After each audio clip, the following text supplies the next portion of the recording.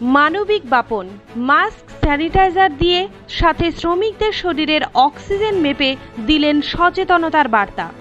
উত্তরবঙ্গের চা বাগানগুলিতে চলছে পাতা তোলার কাজ।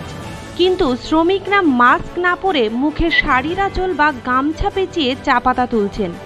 এই দৃশ্য দেখা মাত্রই পুলিশ কর্মী তথা সমাজকর্মী বাপন দাস ওই চা বাগানগুলিতে গিয়ে শ্রমিক ভাই বোনদের সচেতন করেন। এগিয়ে গিয়ে তাদের বিনা পয়সায় মাস্ক, স্যানিটাইজার ও সাবান তুলে দেন। তাদের করোনা ভাইরাস সম্পর্কে বিভিন্ন সচেতনতার কথাগুলি শোনান।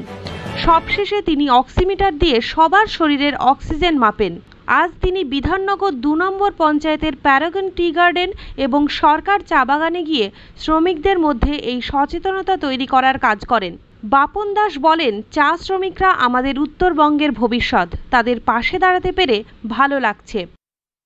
এই চা বাগানে এসেছি। চা বাগানে অক্সিমিটার দিয়ে তাদের শরীরের অক্সিজেন মাপলাম এবং সেই সঙ্গে সাবান, মাস্ক এবং হাতটা স্যানিটাইজার করলাম। এই চেষ্টা চলবে। আমাদের উত্তরবঙ্গের চা বাগান অধ্যুষিত এলাকা, অনেক শ্রমিক ভাই বোনেরা এখনও মাস্ক পরে না পরে না। মুখে গামছা বেঁধে এরা চা পাতা তুলে। তাদের একটু সাহায্য, মানুষ মানুষের জন্য। ধন্যবাদ আমি জানাব সুভাষ, ডক্টর সুভাষ চক্রবর্তী ইসলামপুরকে ধন্যবাদ জানাব শিলিগুড়ি ধ্যান মণ্ডলীকে যারা আমাকে সহযোগিতা করেছে। উত্তরবঙ্গ থেকে ভাস্কর চক্রবর্তীর রিপোর্ট, টাইমস বাংলা।